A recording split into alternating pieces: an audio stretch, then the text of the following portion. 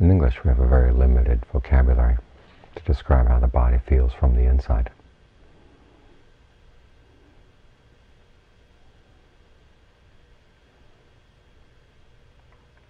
We feel tingly, or we feel heavy. There are not that many words, nothing really systematic. This is where the Buddha's teachings on the elements are helpful. They give a systematic way of categorizing the sensations we have in the body and to give us a sense of what we can do with them. Because it's with this teaching on elements, or what's probably a better way of translating the word dhatu is properties, you get a very clear sense of how much your present input shapes the way you experience the body. And an immediate, very visceral way of learning how to use that present input to balance things out, make the body better place to settle down, easier to settle down in. The basic system is six. There's earth, water, fire, wind, space, and consciousness.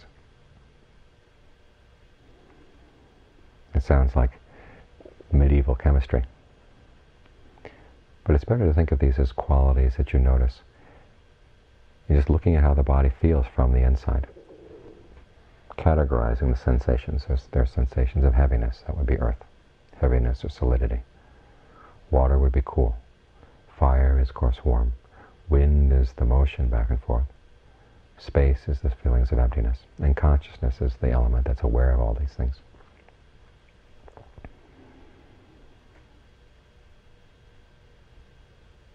The theory of these properties is that they get provoked.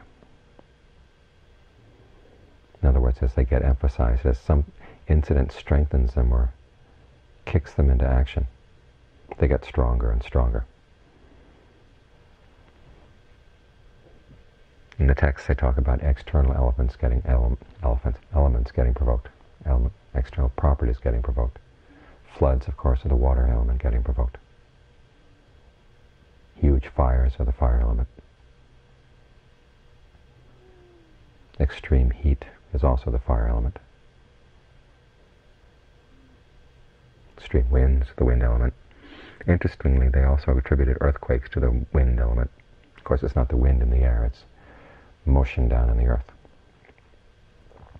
Apparently, earth was the only one that wasn't provo provocable, on the external level at least. And whatever we may think of these as ways of describing external events. It's a very useful way of looking at the internal events, the sensation of the body from within. When they talked about causes for disease, giddiness or lightheadedness, that's too much wind element. The wind element has been provoked. Fever, of course, is the fire element being provoked. The feeling of lethargy or heaviness in your limbs, that's the earth element.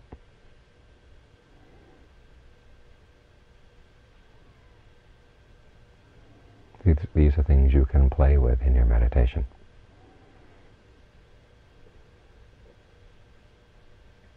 And that's where the teaching really becomes useful. Because it allows you to see exactly how much the way you focus on the body has an impact on how you perceive the body, how you actually sense the body we think of sensation as being primary. But there are conscious decisions that are made that precede the sensation. Look at the teaching on dependent arising. Sankhara, fabrication, is way down there prior to the sensations you feel in terms of form, feeling, and so forth. And so, how are you going to fabricate the body?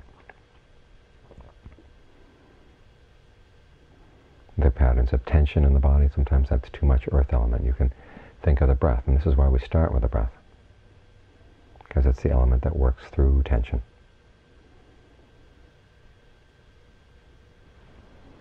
Wherever there's a sense of tension, focus on it and see if you can get a sense of motion going there. The potential for motion is there, simply that the perception that caused that tension has blocked it.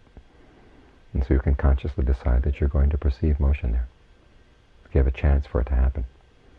And the potential for motion, the potential for movement through that part of your nervous system will get strengthened, will get aroused, which is probably a better way of trans translating the word that I just translated as provoked, gets aroused. And the breath you find can move through that sense of blockage.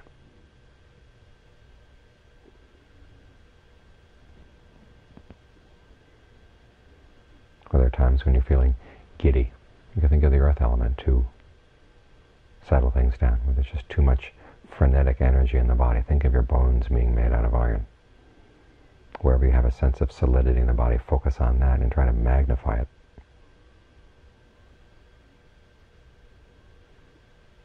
And you feel that your choice of the image you're using, the purpose for the focus, will really affect the way you start sensing that part of the body and how you can then take that sensation, spread it out, and connect it with other parts of other sensations of solidity in the body. And the potential for solidity is always there. When you're feeling depressed and down, you want to think of lighter things. When you're hot, you want to think of the water element. Focus on whatever sensations in the body are cooler than the others. Just really keep your focus right there and just think water, water, or cool, cool, cool.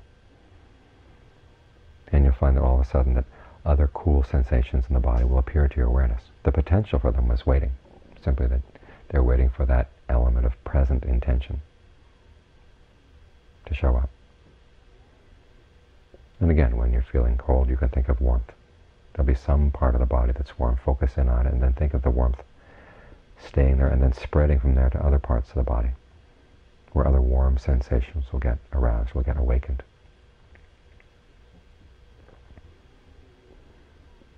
You can do this at any stage in the concentration, although it's most effective when the breath is still. At that point, the body feels like a, a cloud of mist. There's little points of sensation, and each point of sensation has the potential to be any one of these four elements. When it's reduced to that, what the French would call pointillism, it's a lot easier to simply with a thought emphasize either the heaviness or the lightness, the movement, the warmth or the coolness of those sensation, sensation potentials you've got there.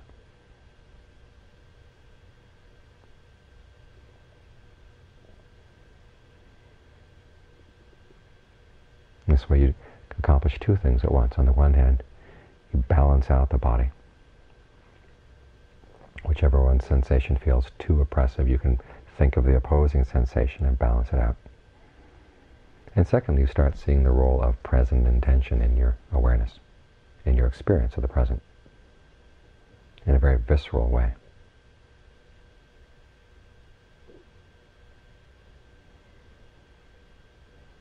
When things grow very still and very balanced in terms of those four elements, So that you do just have this mist of potentials that can go in any direction. What you could also do, though, is focus on the space between the little points. realize that that space is boundless. It goes through the body and out in all directions. And just think that, infinite space. Stay with the sensation of infinite space that comes along with the perception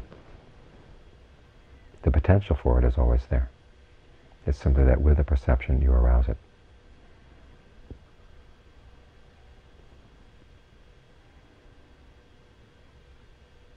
And it's a very pleasant state to get in. Things seem a lot less solid, a lot less oppressive. You don't feel so trapped in the body.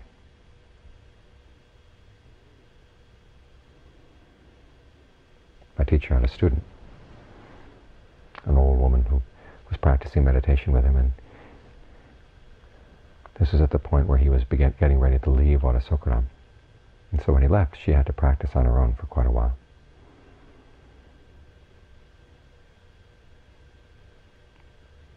And there was one evening when she was sitting with a group meditating there at Wat Asokaram, and his voice came to her as she was meditating. He said, you're going to die tonight.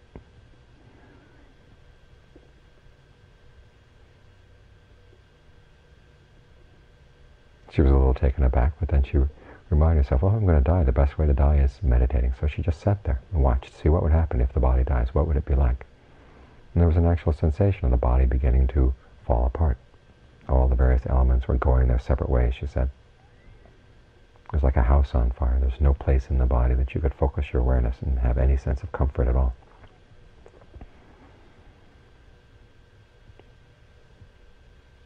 And so for a moment she felt lost. And then she thought, well, there's the space element. So she focused in on the space element. And all that sense of the house on fire suddenly disappeared. A very strong sense of infinite space. There was always the potential to go back to the body. This is something you'll notice when you're at this point in your meditation. They're the spots that could create a potential for the form of the body, but you choose not to focus on them. Instead, you focus on the sense of space in between and all around. And there's a sense of boundlessness that goes with that.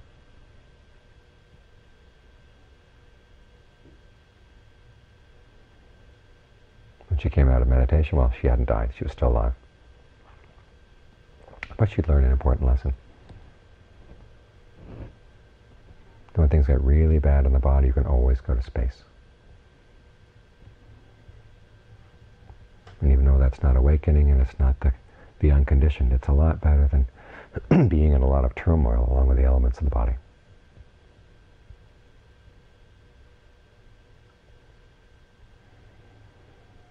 So this is a useful way of thinking.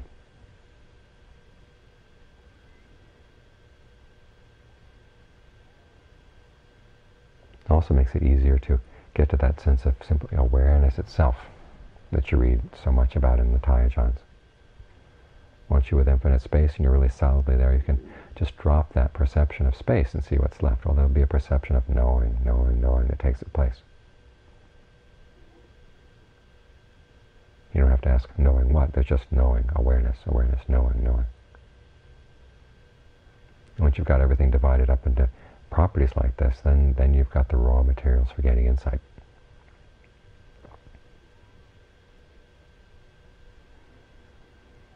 So even though the, the terms of analysis may seem strange, once you get a sense, a visceral sense of what they're referring to, they're extremely useful.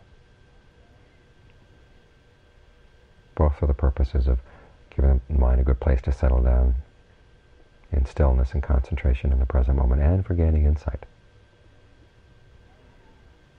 into the way that perception shapes your experience of the body, shapes your experience of what's going on here in the present moment.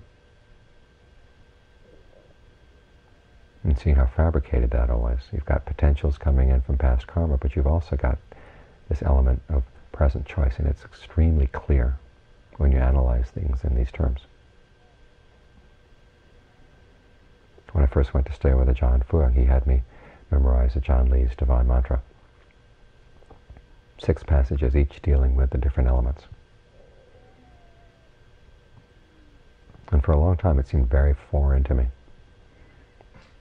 Until one night as I was ch chanting the passage on the element of consciousness, I realized, what's this talking about? This, this awareness, it's right here. It was like this huge iceberg in my heart suddenly melted that I wasn't dealing with some outside foreign frame of thinking, but it was something that was extremely direct and visceral, immediate, right here and now.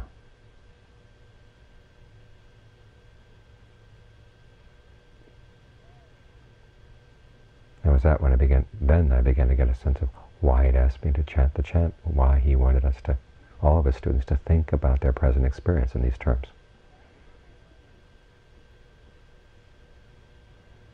So keep this mode of analysis in mind. Try to get some sense of it as you put it to use, and you'll find that it's extremely useful in the practice.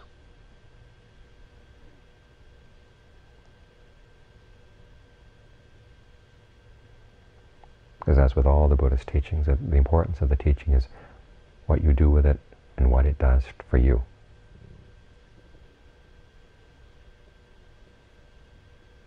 and helping gain insight into how stress and suffering are created in the present moment and how you don't have to do it.